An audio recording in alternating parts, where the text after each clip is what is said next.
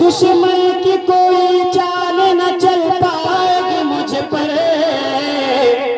अरे दौलत नहीं हिस्से में मिली माँ की दुआ। गए